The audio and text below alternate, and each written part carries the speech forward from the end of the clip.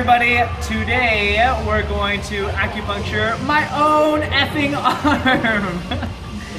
now, uh, this weekend I went kiteboarding in uh, Padre and I fell with an outstretched hand. So we call this actually a foosh injury. So if you ever fall like this or if you fall like this, what ends up happening is you'll either strain your forearm muscles or you actually tear something in your shoulder. Now, because I'm well conditioned and I have very strong shoulders from doing a lot of handstand work, it all went into my forearm. So my forearm immediately after I fell, I immediately felt like a zing going down like this. It didn't feel like a tear, it just felt like kind of kind of zing and it didn't make my elbow feel great. Like I didn't feel like I could fully extend it. And then when I was moving it, I could tell that my wrist was an issue, my wrist mobility was an issue, so I knew that it was coming from my forearm. So immediately after the injury, what I did was I did some soft tissue into my common uh, flexor area, tendon right here. Now this is an issue because I can feel like there's still soreness when I touch it, touch it right here, and it's still soreness when I go into full extension in the wrist.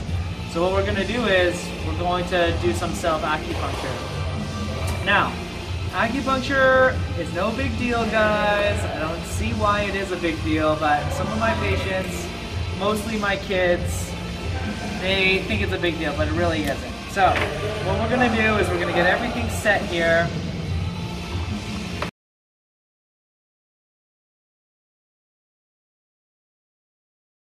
And this is how we self-acupuncture.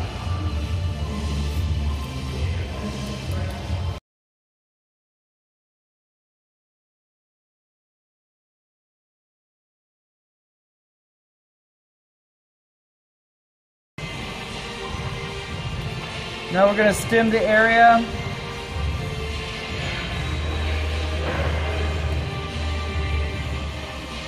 Just like that. Put this on. And you're gonna see it move in a second.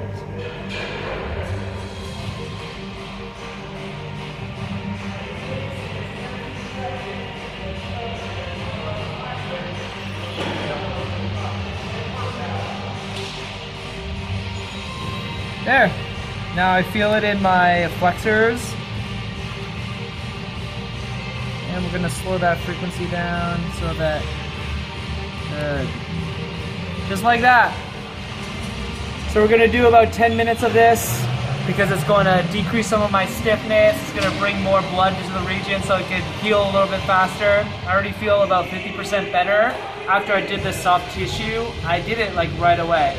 I think the biggest the biggest lesson here is don't let little monsters become big monsters. It's easy to kill little monsters, meaning that the injury was really small when I first happened, so I immediately did it. Like within the first half an hour, an hour, I was already on top of the soft tissue. Then I worked a little bit on Sunday, and now it's Monday, and I'm acupuncturing it. So by Tuesday or Wednesday, it should be completely gone. Oftentimes, what happens is we're like, uh, I'm just gonna let this go away in two or three days. But what ends up happening is it just gets worse, worse, and worse, and you continue to work on it, and it continues to get more strained and strained. So don't let little monsters be, become big monsters. Kill the little monsters immediately. All right, I'll see you guys later.